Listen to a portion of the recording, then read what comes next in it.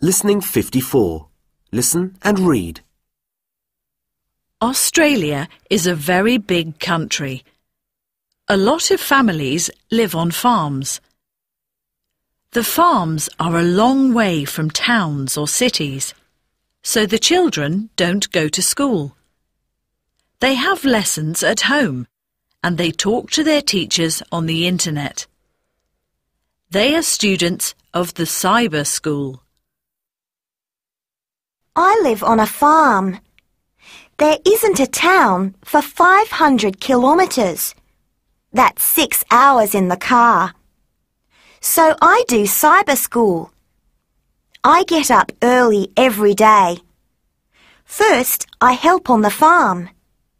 Then I watch my teachers on the internet. Next, I do my schoolwork. Finally, I email my work to my teacher.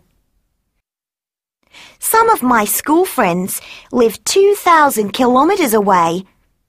But we meet every year and have a sports day together.